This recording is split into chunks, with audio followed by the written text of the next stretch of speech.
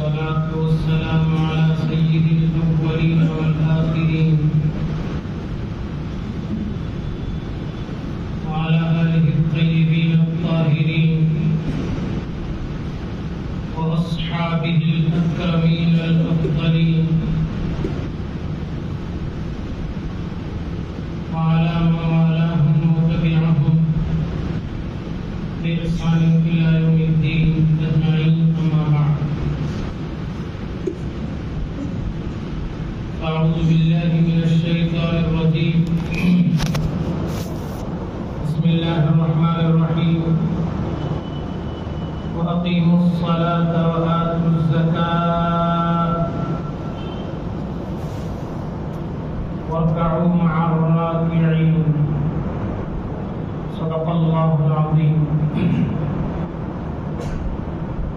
سبحانه وتعالى في شأن حبيبه تعظيما وتكريما.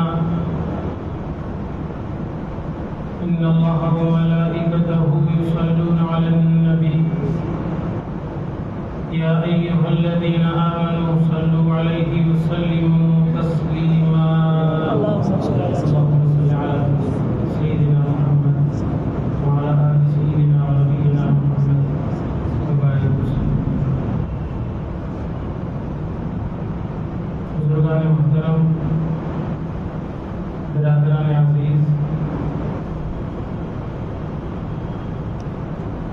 بات آدمی کی فطرت میں داخل ہے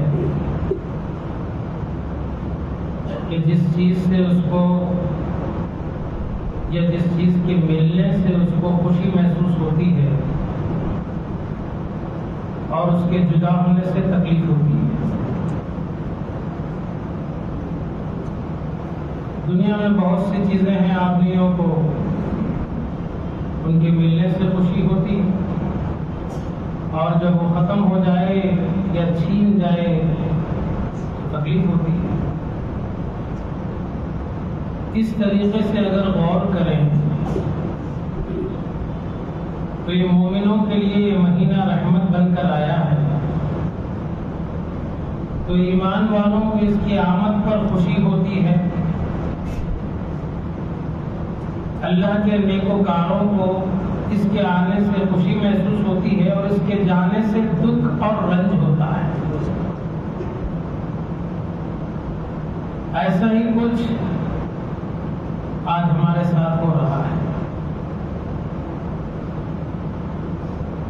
یہ جمعہ، رمضان المبارک کا آخری جمعہ،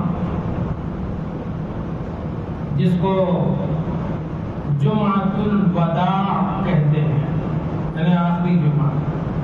اب اس کے بعد جمعہ نہیں آئے گا نہیں، جمعہ ضرور آئے گا، لیکن رمضان نہیں رہے۔ گا تو اگر غور کریں، اس کی عبادات پر تو معلوم ہوگا کہ دیکھیے، دن بھر آدمی کو اس سخت دھوپ میں بھوکا پیاسا رکھ کر اللہ کو کیا ملتا ہے؟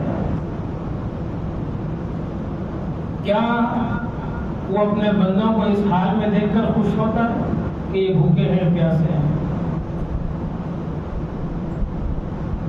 اس کا نام اللہ سبحانہ و تعالیٰ نے سوم یعنی روزہ دیا۔ اور فرمایا، اس طریقے سے تمہیں بھوکا پیاسا رکھ کر تمہیں متقی دیکھنا چاہتا ہوں۔ لعلکم تتقون، تاکہ تم متقی نیکوکار بن جاؤ۔ رات میں تمہیں کھڑا کر کے سنت اور نوافل کا جو پابند ایک مہینہ بنایا اس سے رب کو کیا حاصل؟ اور سارے بندے اگر یہ سوچ لیں کہ ہمارے کوئی نیک کام سے اللہ کی ذات کو فائدہ ہوتا ہے تو یہ بالکل غلط سارے بندے مل کر کوئی گناہ کرے، اس کی شان میں کوئی کمی ہوتی ہے، یہ بھی غلط یہ جتنے کام ہیں، چاہے وہ نیکی کے ہوں یا اچھائی کے ہوں، یہ سب بندوں کے فائدے کے ہیں بندوں کو اللہ سبحانہ و تعالیٰ نیکوں کی روش پر چلانے کے خاطر اس طرح کے انتظامات کیا ہے تو تراویح، راتوں کا قیام، پھر ماشاءاللہ تحجد یہ سب کا سب بندوں میں، ان کی روحوں میں پاکیزگی اور بالیدگی پیدا کرے بھوکا رکھ کر غم گساری بھائی چارگی اور دوسروں پر جو بھوک پیاس کی تکلیف محسوس ہوتی ہے، خود پر محسوس کرے تو اس کا بہت زیادہ احساس ہوتا ہے دوسروں کی تکلیف کا۔ درد دل کے واسطے پیدا کیا گیا ہے انسان۔ ورنہ اگر عبادت مقصد ہوتی تو فرشتے کچھ کم نہیں تھے۔ نحن نسبح و نقدس لك وترى الملائكة حافين من حول العرش يسبحون. بہت عبادت کرنے والے ہمیں دنیا میں اس واسطے بھیجا تاکہ ایک دوسرے کے دکھ درد میں شریک ہو پیار محبت میں شریک ہو جو اسلامی طریقہ ہے۔ تو یہ بدنی عبادات تھے۔ روزہ، نماز، تاکہ بدن میں تقویت حاصل ہو، متقی بن جاؤ۔ ایک اور عبادت ہے، اگرچہ کہ اس کا تعلق سال کے تین سو پینسٹھ دنوں سے ہے، رمضان سے نہیں ہے، اور وہ ہے زکات زکات کے بارے میں ایک بات یاد رکھیں۔ ہمارے ان مالوں کی زکات سے بھی رب کی ذات کو کوئی فائدہ نہیں ہوتا۔ فائدہ ہوتا ہے تو بندوں ہی کو ہوتا ہے۔ تاکہ بندوں کے دلوں سے مال کی محبت ختم کر دی جائے۔ بس اس کے سوا اور کچھ نہیں۔ اور وہ غریب جس کا حق اللہ نے تمہیں دیا ہے کہ تم اس تک پہنچاؤ، یہ اس تک پہنچے۔ بس اس کے سوا زکات کا کوئی اور مقصد نہیں ہے۔ اس سے اللہ کو کچھ فائدہ ہونے والا نہیں ہے اور ہمارے نہ دینے سے اس کو کچھ نقصان بھی ہونے والا نہیں وہ اپنی شان کریمی کے ساتھ ازل سے ہے، ازل ہمیشہ ہے ہمیشہ رہے۔ اس کے لیے اللہ سبحانہ و تعالیٰ نے کچھ اصول بنائے ہیں۔ جیسے روزے کے لیے بنائے، مومن ہونا، مقیم ہونا، اپنی جگہ پر ہونا، مسافر نہیں ہونا، مسلمان ہونا، بالغ ہونا۔ جیسے اس کی شرطیں ہیں زکات کی ادائیگی کے لیے بھی شرطیں ہیں۔ مسلمان ہونے کے ساتھ ساتھ، بالغ ہونے کے ساتھ ساتھ مالدار ہونا۔ اور یہ فریضہ سب پہ نہیں رکھے اللہ سبحانہ و تعالیٰ اللہ کے کچھ سرمایہ دار جو بندے ہیں، ان پر رکھے۔ اور اس میں بھی انتہائی آسانی سے آسانی جو پہلو ہو سکتی تھی، وہ پہلو کو اختیار کیا۔ چنانچہ آپ دیکھیں، سابقہ امتوں میں زکوٰۃ کا شیڈول نکال کر کسی پر دس فیصد، کسی پر پچیس فیصد یعنی سو روپئے اگر ہے تو پچیس روپے زکات میں۔ کسی پر سو روپئے ہیں تو دس روپئے زکات اس امت پر نبی پاک صلی اللہ علیہ وسلم کے طفیل فرمایا، سو روپئے پر ڈھائی روپئے زکات یہ اتنا کرم کا فیصلہ ہے۔ اب آپ بتائیے، دوسری امتوں کی طرح اگر سختی استعمال کی جائے تو کیا ہوگا ہمارا؟ سو روپئے پر ہے۔ اس کا آسان حساب یوں بتایا گیا، چالیس روپئے پر ایک۔ اسی روپئے پر دو۔ روپئے سو روپئے پر ڈھائی۔ ٹو پوائنٹ فائیو کا جو حساب ہے، وہ اسی طریقے سے ہے شریعت۔ اس کے لیے اللہ سبحانہ و تعالیٰ نے دو سلیبس رکھے۔ ایک چاندی کا، ایک سونے کا۔ یعنی کوئی یہ نہ کہے، میرے پاس سونا نہیں ہے۔ چنانچہ میں اس عبادت سے بچ جاؤں، نہیں ہو سکتا۔ چاندی تو اگر کسی کے پاس چاندی نہیں ہے، خالی سونا ہی سونا ہے، وہ اس عبادت سے بچ جائے، ایسا نہیں ہو سکتا سونے پر زکات آتی اچھا کوئی یہ کہے، میرے پاس نہ سونا ہے، نہ چاندی ہے، مجھ پر تو زکات ہی نہیں ہے۔ نہیں، شریعت کہتی ہے، اتنا روپیہ پیسہ اگر تمہارے پاس ہے، جس سے کہ ساڑھے باون تولے چاندی یا ساڑھے سات تولے سونا خریدا جا سکتا ہے۔ اور یہ جو خریدا جا سکتا ہے امیڈیٹلی نہیں ہے۔ سال بھر اپنے ضروریات پورے کرتے ہوئے کھانا، پینا، بیوی، بچے، گھر کا کرایہ، یہ جو ساری چیزیں جو لگی ہوئی ہیں آدمی کے ساتھ، یہ سب ادا کرتے ہوئے اگر ان دونوں میں سے کوئی ایک چیز کا آپ کو اللہ نے مالک بنایا ہے، تو شریعت کہتی ہے کہ 2.5 کے حساب سے تم زکات دو۔ یہ جو 2.5 تمہیں ملا ہے، یہ دوسرے کا حق تھا، اس کو جا کر پہنچانا تھا، اب وہ اس طریقے سے تم ادا کرو۔ حدیث شریف میں آیا ہے، جس نے اپنے مال کی زکات نکالی، گویا اس نے اپنے مال کو اللہ کے محفوظ قلعے میں محفوظ کر دیا۔ اب وہ مال نہ چوری ہو سکتا ہے، نہ ضائع ہو سکتا ہے، نہ اس مال پر آسمانی کوئی مصیبت آ سکتی ہے، نہ زمینی کوئی آفت آ سکتی ہے۔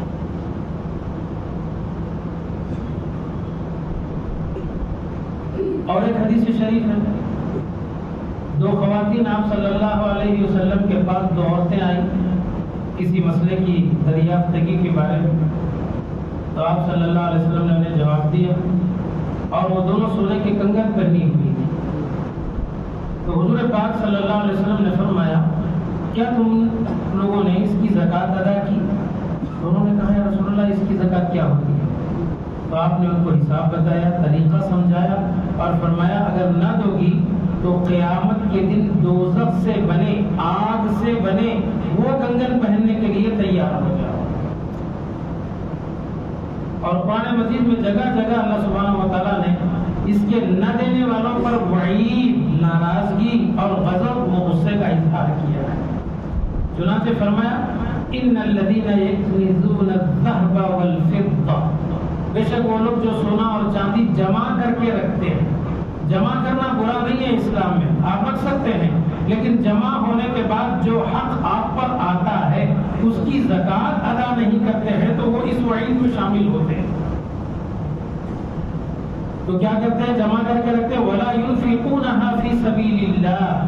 اور اس کو اللہ کے راہ میں خرچ نہیں کرتے۔ یعنی جو مقررہ زکات ان کے مال پر آئی ہے، وہ ادا نہیں کرتے۔ تو ان کے لیے فبشر ہم بعذاب علیم اے حبیب، ان کو دردناک عذاب کی بشارت دیجیے کہ کیا کریں گے اس مال کو؟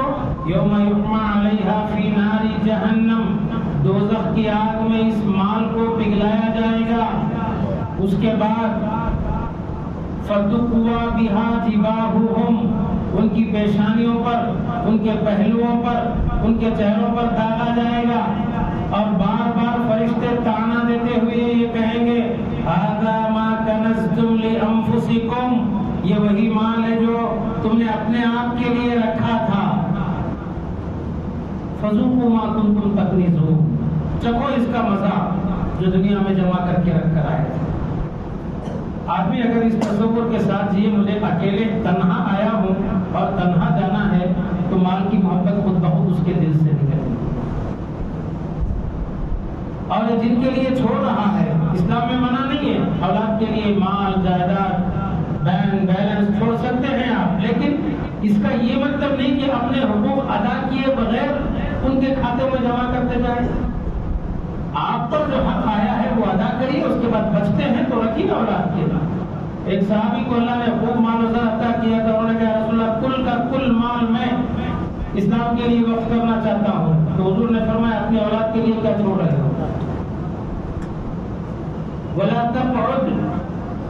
آپ ان کو ایسے مت کرو کہ بالکل یہ بیٹھے رہ جائیں۔ اللہ کی راہ میں خرچ کرو، لیکن ان کا بھی جو تم پر حق ہے، وہ بھی ادا کرو۔ ولا تبسط كل البسط۔ مکمل کشادگی کے ساتھ خرچ بھی مت کرو۔ جتنا تم پر حق ہے، وہ کرو۔ اسلام کبھی بھی یہ نہیں کہتا تمہارے پاس مال ہے، لاؤ زکات، دو زکات نہیں۔ مال ہے تو سال گزرنے دو۔ سال تک تمہاری زندگی کے نشے و فراز اتار چڑھاؤ کیا سے کیا ہو سکتے ہیں؟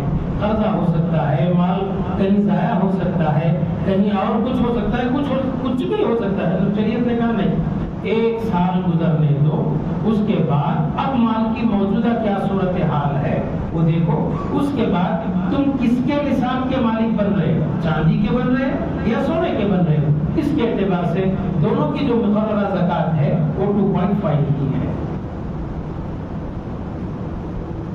ایک غلط فہمی جو ہمارے درمیان بہت زیادہ طور پہ ہوتی ہے، وہ یہ ہے کہ مرد آدمی یہ سمجھتا ہے کہ بیوی کا زیور ہے؟ اور مرد یہ سمجھتا ہے وہ زیور میرا ہے۔ یعنی بیوی کے مال پر مکمل جا- جا- جاگیر حق جتاتا ہے اور سمجھتا ہے وہ مال میرا ہے۔ تو شریعت بولتی تیرا ہے زکات دے یہاں بولتا نہیں لیکن میرا کا ہے؟ بیوی کا ہے۔ ہاں شریعت بولتی کس کا ہے؟ بیوی کا۔ زکات دے بیوی۔ بیوی بولتی میں کہاں کماتی؟ میں کہاں سے لا کے تو زکات؟ بہرحال دونوں مل کے بچنا چاہتے ہیں، لیکن شریعت بچانا نہیں چاہتی اب شریعت کہتی ہے، پہلے طے کر لو یہ مال کس کا ہے۔ اور شرعی اعتبار سے جو زیور لڑکی کا ہے، اس کے مالکانہ حقوق لڑکی کے ہی ہیں۔ شوہر صرف نگران کار ہے، اس کا ذمہ دار ہے۔ اس کو استعمال نہیں کر سکتا۔ یہ اور بات ہے کہ ہمارے پاس ہندوستان کے بعض علاقوں میں بیوی کا مال، شوہر کا مال، شوہر کا مال، بیوی کا مال، یہ سمجھتے ہیں، لیکن شریعت میں ایسا نہیں ہے۔ اس معاملے میں پریشانی ہوتی۔ کون کس کے مال کا مالک ہے، وہ اپنے مال کی زکات ادا کرے۔ اگر شوہر بولے پورا بیوی کا مال میرا ہے، تو چلو زکات نکال۔ یا بیوی کہے کہ پورا میرے شوہر کا ہے، زکات نکال۔ تو اسی لیے پہلے یہ طے کر لے کہ جو مال جس کا ہے وہ اس کا مالک ہے۔ اب وہ کتنی مقدار میں ہے، وہ کھانے پینے کا سامان، کھانے پینے کی چیزیں، رہنے سہنے کے سامان صوفہ اور اور اور جو چیزیں ہیں گھر کی، استعمال کی جو گاڑیاں، رہنے کے لیے ذاتی گھر ان پر زکات نہیں ہے۔ اس کے علاوہ جو چیزیں ہیں، جیسے سونا چاندی استعمال کا ہے کہہ کے آپ زکات سے بچ نہیں سکتے۔ نہیں، وہ تو یوز میں آتا ہے ہمیشہ۔ اس کے بغیر بھی زندگی گزاری جا سکتی ہے۔ جو ضرورتیں شریعت نے مقرر کی ہے، اس کو ضرورت سمجھے۔ جیسے کھانے پینے کے برتن ہیں۔ یہ ضروری چیزیں ہیں۔ آپ اس کے بغیر بھی رہ سکتے۔ رہ لو آپ شریعت تو بولتی نہیں ہم ویسے تو پانی پی کے بھی رہ رہے رمضان میں۔ لیکن یہ کبھی کبھی اچھا دکھتا۔ اور یہ سب کی ضرورتیں نہیں ہو سکتی، کچھ کی ضرورتیں ہو سکتی ہیں۔ اور شریعت کچھ کا لحاظ نہیں، سب کا لحاظ رکھتی ہے۔ تو شریعت اب یہ کہتی ہے کہ یہ بیوی کا مال ہے یا شوہر کا مال ہے، یہ طے کر۔ اب طے ہو گیا بیوی کا مال ہے۔ اب وہ زکات کیسے نکالے؟ میں آپ کو اسلامی تصور سمجھانا چاہتا ہوں یہاں پر۔ اسلام کیا چاہتا ہے اور ہم کیا چاہ رہے ہیں زکات بنی، جو بھی بنی۔ بیوی بولتی اب میرے پاس تو پیسے نہیں ہیں۔ لا محالہ شوہر کہے گا، ٹھیک ہے، میں ادا کر دوں گا زکات۔ ٹھیک ہے۔ بیوی کے مال سے شوہر اگر زکات ادا کرے، تو زکات ادا تو ہو جائے گی، لیکن بیوی کے مال سے مال کی محبت کم نہیں ہوگی شریعت یہ چاہتی ہے کہ بیوی زکات ادا کرے۔ پھر وہی سوال پیدا ہوتا ہے، وہ کماتی نہیں، کہاں سے ادا کرے؟ تو بولے پورا زیور حساب میں رکھے رکھ کر جس دن زکات نکال رہی ہے، اس دن سونے کا جو بھاؤ ہے، اس کے حساب سے اپنی کوئی چھوٹا سامان، کوئی زیور، انگوٹھی یا کوئی اور چیز جتنی زکات کی رقم بن رہی ہے، اتنی بیچ دے اب یہ جو بیچے گی، تو اس سے اس کے دل کو تکلیف ہوگی اور مال کی محبت خود بہت ہوتی ہے اسی لیے شریعت میں دو عبادتیں ایک قربانی اور ایک زکات بیوی اپنے پیسوں سے ادا کرے۔ اب یہ بہانے نہیں چل گیا نہیں وہ تو کماتی نہیں دھماتی نہیں۔ تم کیا کرتے ہو؟ ماہانہ کچھ ایسا دو نا اس کو کہ وہ اپنی عبادتیں خود ادا کر سکے۔ اس کا حساب مت رکھو۔ وہ زکات بھی ادا کر سکے، قربانی آئے تو قربانی بھی ادا کر سکے۔ تو بہرحال یہ ہے شریعت کا مقصد۔ لن تنالوا البر. قرآن مجید پڑھتے ہو سنتے ہو سب کچھ کرتے ہو لیکن اب لن تنالوا البر حتى تنفقوا مما تحبون. اپنی محبوب ترین چیز کو جب تک خرچ نہیں کرو گے، نیکی نہیں ملے گی. ہرگز نہیں ملے گی. تو وہ یہاں پر آزمائش ہے، یہاں اس کا امتحان ہے. یہ خرچ ہونا چاہیے. اچھا ایک اور غلط فہمی؟ بچیوں کے نام پر سونا جمع کرتے ہیں کہ بھی شادی ہونے والی ہے۔ بچیوں کے نام پر۔ اس کی زکات کون دے؟ تو یہ بات اچھی طرح یاد ہے بچیاں اگر نابالغ ہیں اور ماں باپ اس کے زیور کو جمع کر رہی ہیں، تو یہ مال ماں باپ کا ہی ہوگا اور زکات ماں باپ ہی ادا کرے گا۔ جس دن آپ بچی کو یہ مال دیں گے، اس دن سے بچی اس کی نہیں، یہ تو بچی کو دینے کا ہے، بلکہ زکات سے نہیں بچ سکتے آپ۔ اللہ نے دیا ہے تو اس کا مطلب ہے کہ زکات اس پر آتی ہے۔ تو یہ غلط فہمی کو بھی آپ اچھی طریقے سے دور کر لیں۔ اور خدا، یہ غلط فہمیوں میں رہ کر تھوڑے سے مال کے خاطر اللہ کے غیظ و غضب کا شکار نہ ہو جائے۔ نماز پڑھ لیں گے۔ آسانی سے ادا ہو جاتی، کچھ اس میں خرچ نہیں ہوتا۔ روزہ رکھ لیں گے، اس میں بھی ادا ہوتا، کوئی فرق نہیں ہوتا۔ لیکن اصل جو نیکیاں ہیں عبادات کو اللہ نے صرف بدن کے حد تک خاص نہیں کیا، مال پر بھی رکھا ہے۔ تو عبادات تین قسم کی ہوئی۔ زبانی عبادت ہے، جو آپ تصویر پڑھتے بیٹھی ہے اس کا تعلق زبان سے ہے۔ پڑھنے مجید پڑھتے بیٹھی ہے کوئی ذکر و اذکار کرتے بیٹھی ہے اس کا تعلق زبان سے ہے۔ نماز پڑھیے، روزہ رکھیے، اس کا تعلق بدن سے ہے۔ دو ہوئی. تیسری عبادت عبادت مالیہ. اس کا تعلق زکات صدقات اور صدقہ فطر اور خیرات اور حج اور عمرہ. یہ مالی عبادت ہے. اللہ نے دیا ہے اس میں برابر دیکھیے آپ یہ کہہ کر بہانے بازی کے ذریعے اس عبادت سے غیر دنیا میں تو بچ جائیں گے، یہ چار روزہ دنیا ہے. لیکن رب کے حضور کیا جواب ہوگا اس کا؟ آدمی کو اگر مرنے کا یقین ہے رب کے حضور پیش ہونے کا یقین ہے تو ایسی غلطی کبھی نہیں کرے اگر نہیں ہے یقین، جنہیں کوئی مجھے ہمیشہ یہی رہنا ہے، مرنا ہی نہیں ہے، تو وہ اپنا کوئی ہلا بہانہ تلاش کر لے جب موت کے فرشتے آئیں گے۔ جن کے لیے مال چھوڑ کر جا رہے ہیں، یقین مانیے آپ کا کفن بھی میلا نہیں ہوگا یہ آپ کے مال کو تقسیم کر لیں گے۔ جن کے لیے چھوڑ گئے تھے، وہ آپ کے کفن کو بھی میلا نہیں کرنے دیں گے۔ اسی وقت فوراً بانٹ لیں گے، آپس میں لڑ لیں گے اور آپس میں قتل و خون غارت گیری کر لیں گے۔ اپنے عبادتوں کو چھپا کر، اپنے حقوق کو، اپنے پیٹ کو مار کر جن کے لیے رکھے تھے، ان کا حشر وشر تو یہ ہے۔ کیا گارنٹی ہے کہ جو اولاد آپ کی موجودگی میں نہیں سدھری، آپ کی اس دنیا سے تشریف لے جانے کے بعد سدھرے گی؟ اس کا کوئی بھروسہ نہیں ہے۔ اسی لیے ہر آدمی کو اپنی آخرت کی فکر کے ساتھ اولاد کی تربیت اس نقطۂ نظر سے کرے کہ اس کی موجودگی میں اپنے حقوق کو خراب نہ کرے۔ کیونکہ حدیث شریف میں آیا ہے، لا طاعت للخلق فی معصیت الخالق۔ اللہ کی نافرمانی میں مخلوق کی فرما برداری کوئی عبادت نہیں ہے۔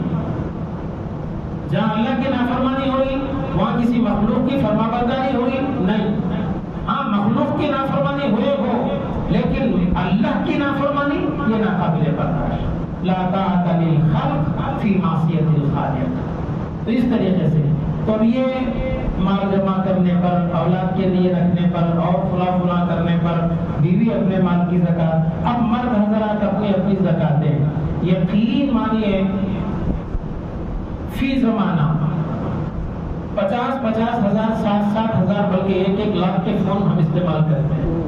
شریعت یہ نہیں ہوتی، ایک لاکھ کا فون استعمال کرنا زکات دے، نہیں وہ تیری ضرورت ہے رکھ لے نہیں۔ دو دو لاکھ کی گاڑی اور تیری ضرورت ہے۔ دو دو گاڑیاں ہیں، آدمی ایک ہے، گاڑیاں دو ہے ٹھیک ہے، شریعت بولتی وہ بھی تیری ضرورت ہے، رکھ لے۔ آدمی ایک ہے، گاڑیاں چار ہے شریعت بولتی رہن دے، چاروں استعمال کر، زکات نہیں ہے۔ اب اس کے علاوہ جو ہے، اس پر زکات۔ مزاج شریعت کو سمجھیں، شریعت آپ کی ضروریات میں حائل نہیں ہوتی، ہماری ضروریات پر یہ نہیں بولتی بریانی کیوں کھا کارخانہ بھی کھا سکتا، زکات دے، نہیں، جو کھاتا کھا، اللہ کی نافرمانی نہ کرے۔ کلو وشربو ولا تسرف کھاؤ، پیو اسراف نہ کرو یہ شریعت کا مزاج اچھا کھاؤ اچھا پہنو اچھا رہو رہو کے۔ یہ اللہ کو بہت پسند ہے۔ اور اللہ نے جو نعمتیں دی ہے اس کا اظہار بھی کرو۔ ایک صحابی ہے جو موٹے دھاتے کپڑے پہنے ہوئے تھے۔ تو حضور نے سوچا کہ ہو سکتا ہے یہ بہت غریب ہے تو آپ نے اس کو بلایا اور پوچھا کہ اگر کہو تو کچھ صدقے کا مال ہے۔ تو حضور نے کہا رسول اللہ نہیں، میرے پاس مال بہت ہے۔ میں فلاں تاجر ہوں، فلاں ہوں جب اس نے اپنا انٹروڈکشن دیا، تو حضور نے فرمایا، پھر حالت کیا بنا رکھی ہے؟ تو وہ خاموش رہے۔ تو اس کے بعد حضور نے حدیث میں ارشاد فرمایا کہ ان اللہ یحب ان یرا اثر نعمته علی عبده اللہ سبحانہ و تعالیٰ نے جس بندے پر جو انعامات کیے ہیں، اس کا اثر دیکھنا چاہتا ہے۔ کپڑ کے ذریعے، آپ کے رکھ رکھاؤ کے ذریعے، آپ کی گفتگو کے ذریعے، آپ کے کھانے پینے کے ذریعے۔ شکرانہ طور پر، تکبرانہ طور پر نہیں۔ کیوں؟ لئن شکر تم میری دیوی نعمتوں کا شکر کرو گے، اور اضافہ کرو گا وَلَئِن كَفَرْتُمْ تکبر کرو گے، انکار کرو گے۔ ان عذاب لشدید۔ اور اللہ کے پاس ایک طریقہ ہے، جب کوئی نعمت وہ چھین لیتے ہیں تو دوبارہ کبھی نہیں دیتے۔ نبی کریم صلی اللہ علیہ وسلم گھر میں داخل ہوئے روٹی کا ایک ٹکڑا کہیں کونے میں پڑا حضور نے لیا اور اٹھا کر اس کو احترام سے اوپر رکھا اس کے بعد حضرت عائشہ صدیقہ رضی اللہ عنہ کا رسول اللہ یہ تو روٹی کا ٹکڑا تو حضور نے فرمایا یہ روٹی ہے اکرم الخبز کھانے کا احترام کرو اور اللہ کے پاس کسی نعمت کی اگر ناقدری کی جائے اب نعمت کا مطلب صرف نوٹوں کی تھیلیاں نہیں ہوتی وقت بھی نعمت ہے صحت بھی نعمت ہے۔ اچھی دوستی، بیوی بچوں کے ساتھ عمدہ وقت گزارنا یہ بھی نعمت ہے۔ یہ اگر ایک بار اللہ تبارک و تعالیٰ کسی سے چھین لیں دوبارہ کبھی اس کی زندگی میں نہیں آتا۔ پہلے تو وہ چھینتے نہیں، بہت زیادہ ناقدری ہو گئی تو لے لیتے ہیں۔ جب لیتے ہیں تو دوبارہ واپس کبھی نہیں۔ تو بہرحال یہ اس طریقے سے ان عبادتوں کو کرنا چاہیے۔ آج کے دن ایک اور غلط فہمی ہے۔ آپ لوگ پورے سوشل میڈیا کے یوزرز بھی ہیں، وہ آیا ہوگا آپ لوگوں کو بھی۔ کیا؟ جمعت الوداع کی، رمضان کی آخری جمعہ میں اثر کے بعد چار رکعت نماز پڑھے تو اسی سال کے گناہ معاف۔ نہیں؟ آیا نہیں آیا؟ دوسروں کو بھی ڈالیے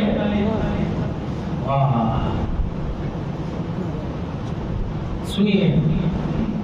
یہ جو حدیث شریف وائرل کر رہے ہیں، جتنے لوگ وائرل کر رہے ہیں، سب گناہ میں شریک ہے کیونکہ اگر ایسا ہوتا فار ایگزامپل تھوڑا دیکھ لیجیے اگر ایسا ہوتا، اسی سال وہ چار رکعت نماز وہ بھی کب پڑھنا؟ اثر کے بعد۔ جبکہ شریعت کا قاعدہ ہے اچھا یہ جو چار رکعت نماز ہے، نفل ہے۔ کیا ہے؟ نفل. اور اثر کی نماز کے بعد کوئی نفل نہیں ہے. پہلی غلطی ہے سمجھ رہے اثر کی نماز کے بعد کوئی نماز نہیں ہے مغرب تک. یہ چار رکعت پڑھا رہے یہ غلطی. دوسری غلطی کیا کر رہے ہیں اس کو نبی کریم صلی اللہ علیہ وسلم نے فرمایا کہہ رہے ہیں، جبکہ حدیث شریف میں ہے کہ جو کوئی من کذب علی متعمدا فلیتبوا مقعدہ من النار، جو کوئی جان بوجھ کر جھوٹی بات میری طرف کرے، تو اپنا ٹھکانہ دوزخ میں بنا لے۔ یہ اسی سال کے گناہ معاف ہونے کے چکر میں سیدھا جہنم میں جا رہے ہیں نا حضرت؟ سیدھا جا رہے بغیر کسی روک ٹوک کے، کوئی بھی نہیں روک رہا۔ یہ اسی سال کے گناہ معاف کرانے کے چکر میں اچھا پھر اوپر سے زام خیش یہ کہ اسی سال نہیں ہے اپنی۔ کچھ ایکسٹرا بھی ہو جا رہا تو مطلب بات نمازوں کو غائب بھی کر سکتے یہ بھی ایک سہارا اس میں مل جا بہرحال ایسی کوئی روایت سرکار دو عالم صلی اللہ علیہ وسلم سے نہیں ہے۔ یہ اچھی طرح ذہن میں رکھیں۔ اور ویسے ایسی کوئی بات، عجوبی بات آ جائے تو ہمارا کام یہ ہونا چاہیے کہ اس بات کو لے کر ہم کسی عالم سے رجوع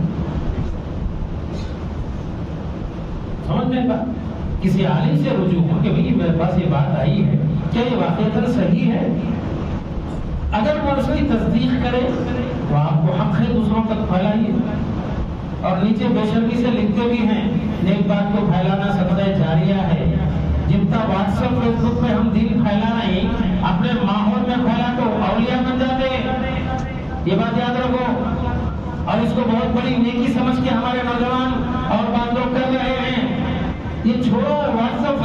دنیا سوائے ضلالت اور گمراہی کے کچھ نہیں ہے۔ جس سے خود کا ایمان بھی خراب، جس کو شیئر کرے اس کا ایمان بھی خراب۔ اب وہ بیچارہ بھروسے میں ہے سات سمندر پر کیا نام ہوا عمران۔ ابراہیم بھیجے۔ بڑے ناخواں بھیجے غلط تو نہیں بن سکتے۔ چلو، اس پر عمل شروع۔ ایسا نہیں ہو سکتا، بابا۔ قرآن حدیث بولے تو اس کا تعلق ڈائریکٹ عالم سے ہوگا میرے ہاتھ ہاتھ اثر کی نماز کے بعد چار رکعت پڑھنا ہے۔ نہیں پڑھنا ہے ہرگز نہیں پڑھنا ہے۔